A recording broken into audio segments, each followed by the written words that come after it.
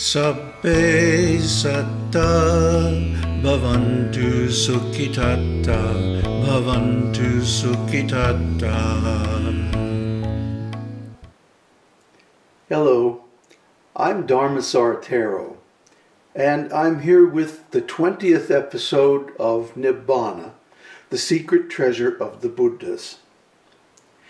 Remember last time we were talking about how Nibbana is a kind of cooling down, a type of extinguishing of the fire of suffering, the fire of lust, the fire of desires. So the problem is people in this world are suffering so much that they'll do anything to get a little relief. And the Buddha compares that to a man with leprosy, roasting his limbs over a fire to try to heal the sores. So everyone is looking for this fire. Huh? Come on, baby, light my fire. Not realizing that this is only going to increase the suffering and result in a greater entanglement in the problems of material life. So Nibbana goes the other way. Nibbana is a type of cooling. It's compared to extinguishing a fire. When a fire goes out, because it runs out of fuel or anything like that. It simply is gone. It doesn't go anywhere. And in the same way, Nibbana is not a place where we go. it's simply the fire of desire, the fire of becoming, going out. And that's really all there is to it. So, how do we get the fire of becoming to go out? Well, that's the whole purpose of the Noble Eightfold Path.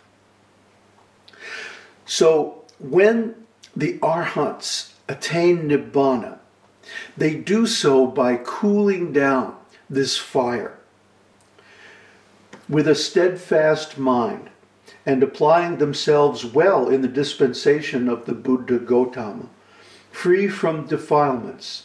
They have attained to that which should be attained arhatship by encountering the deathless. They enjoy the appeasement of nibbana freely obtained.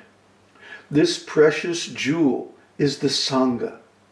By this declaration of truth, may there be protection. Now, this is a chant that is chanted every day in every Buddhist monastery. at least every Theravada Buddhist monastery. But somehow they don't get it. Somehow they still think that Nibbana is something you have to earn, something you have to work for, something you have to go to, or a thing that you have to get. But actually, it's not like that at all. It's simply the relinquishment of desire, the appeasement of this war that we have with the way it is, Dhamma. Uh, the way it is isn't good enough for us. We have to start a, a whole process of becoming to make it in some other way. But that's not going to make us happy. That's not going to give us the protection that we seek. The protection, the jewel, Ratana means jewel. Uh, the jewel the pearl of great price, as Jesus described it in the Bible, for which a man would go and sell everything he has huh, just to purchase it. That jewel, that, that appeasement, the end of desire, that is Nibbana.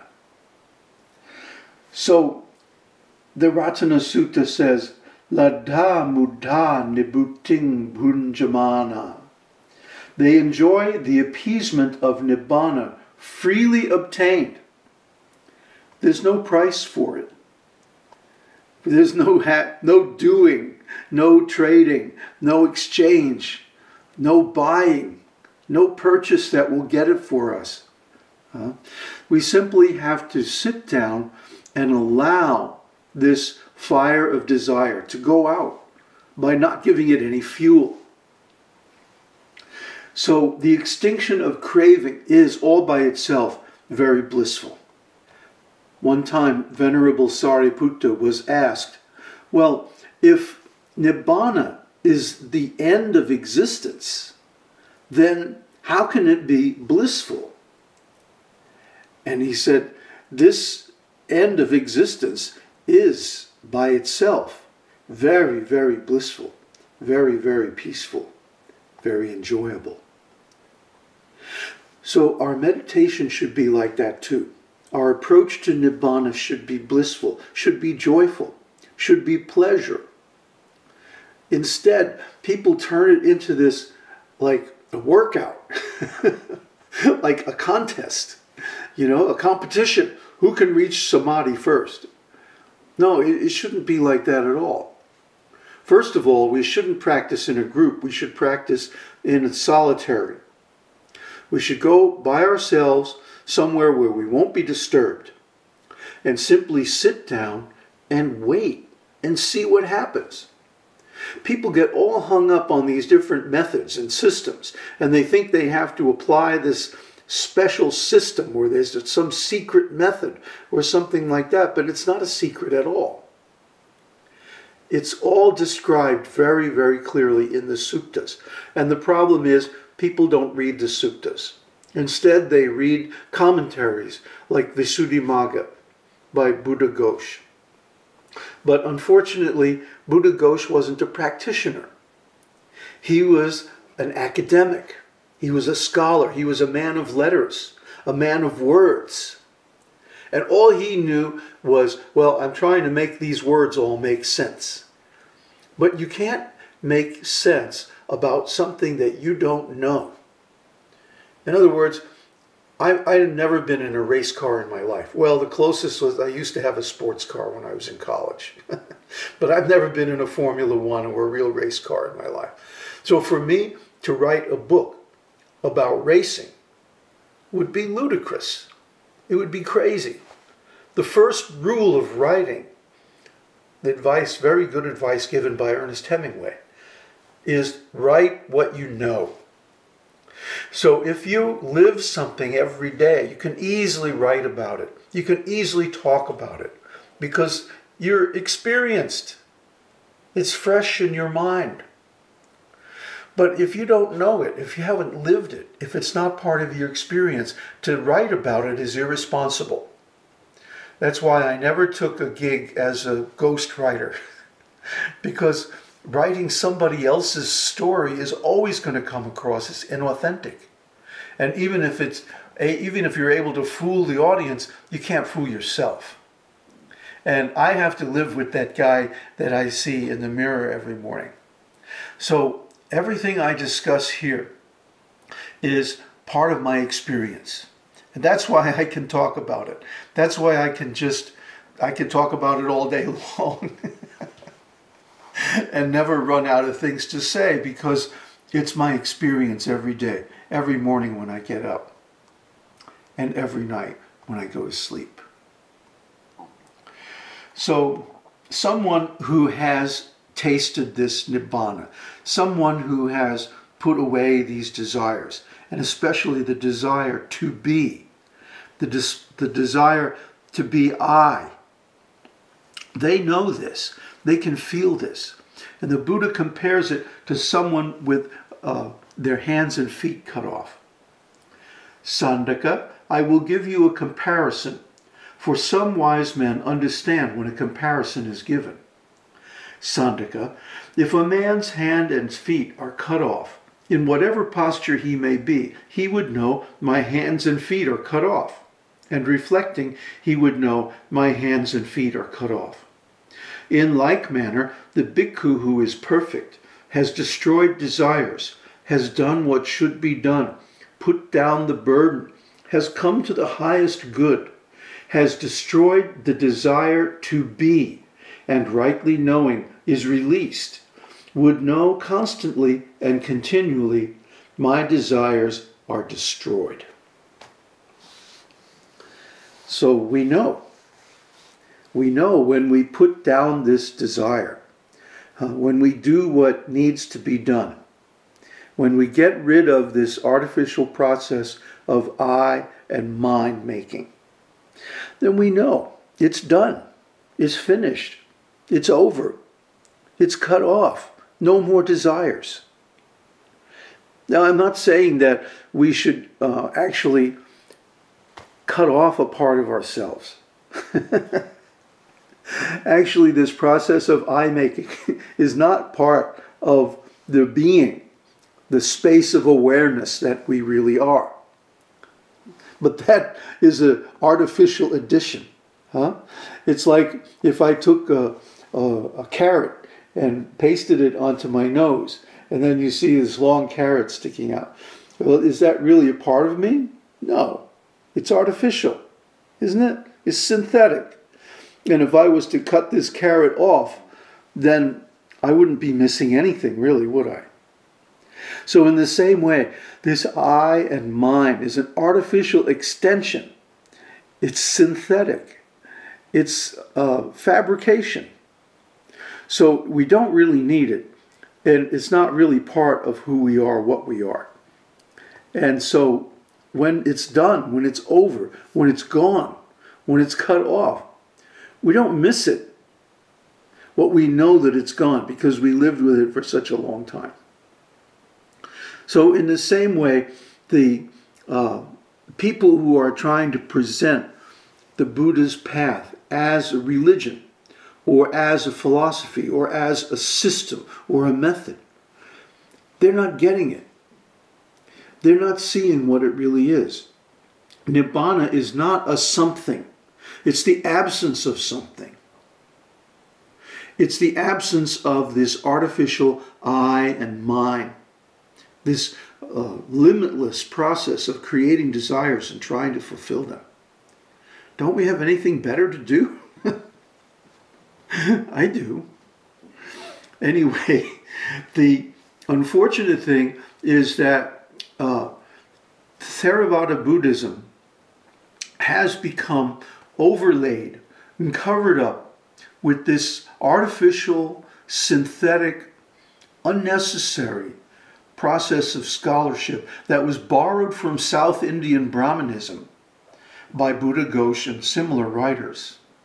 And they took it from the path of the Buddha into a path of yoga, from a path of letting go and allowing the process of making desires to stop, to a path of trying to impose our will and force the desires to stop.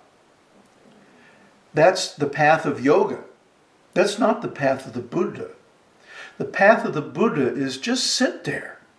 Just sit there and do nothing. And spend enough time sitting there doing nothing that the normal habits of our mental life can gradually stop. That's really meditation. So this has led to a very unfortunate situation, whereas now we have a bunch of college trained, literally university trained preachers who are giving this message of the Buddhist path as yoga instead of the way it originally is. And they are able to shout out and drown out the voices of the actual practitioners those who have actually realized Nibbana. And it resonates with something in us because of our conditioning, because we've gone to school, we've gone to university. Uh, we were taught that we have to do in order to know. And that's just not the, the a path of the Buddha at all. The path of the Buddha is non doing, no self, no mind just relax and it will fall off by itself. So, the false image created by Buddhaghosh and other scholars who were not practitioners, and they admitted they weren't practitioners. In fact, they even held a debate between the scholars and the practitioners where they said, We don't need this practice. All we need are the books to pass on the Buddha's teaching. So you don't have to be an expert practitioner to be a guru or a monk or a teacher. I disagree. I think that by allowing the scholars to become dominant, Buddhism has gone off the path of the Buddha and turned into something completely different from what it originally started out to be. And this is only exacerbated by Buddhism in the West. Because in the West, of course, we're addicted to doing to the max. And this is the problem. The people who are attached to the words and symbols think they know, but actually they don't know because they're not practicing. There's a nice passage in the Kalakarama Sutta. Whatever is seen or heard or sensed or clung to as true by others, amidst those self fettered by their views, being such, I hold none as true or false.